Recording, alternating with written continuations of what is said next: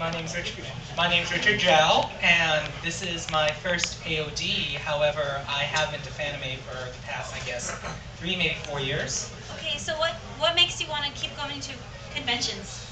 Oh, What, what draws you to conventions?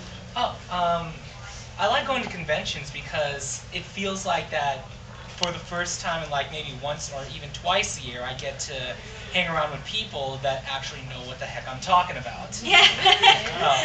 Try, try being, yeah, try being,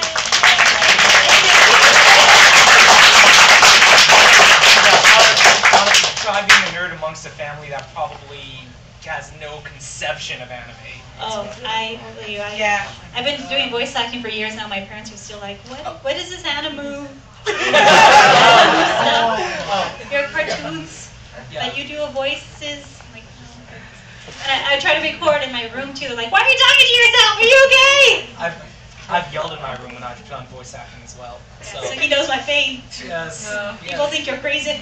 Yeah, I just, I just did a, fa- I just did a fan dub in which it involved a lot of chasing and yelling and.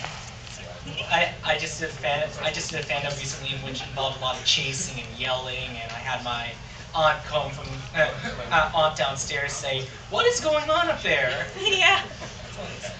So, is there anything you want to say to the, the camera, or actually, let's try something different.